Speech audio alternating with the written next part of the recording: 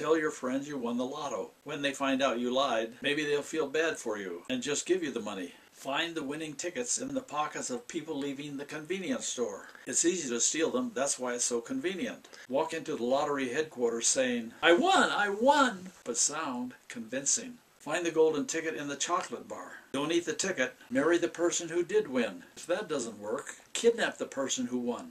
Playing ping pong won't help, don't do that. Make one of those giant checks and cash it at your local bank.